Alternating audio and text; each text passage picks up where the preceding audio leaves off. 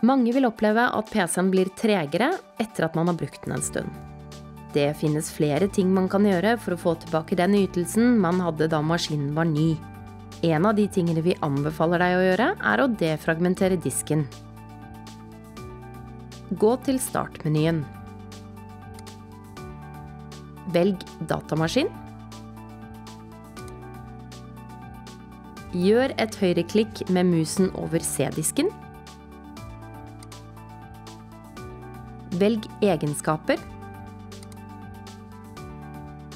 Velg verktøy. Velg så defragmenter.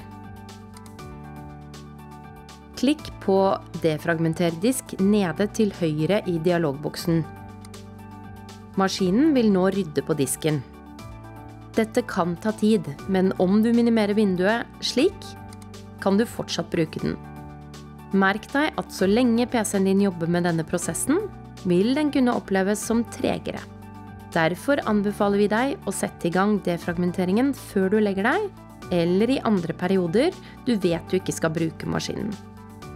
Flere tips og triks finner du på Telenors YouTube-kanal.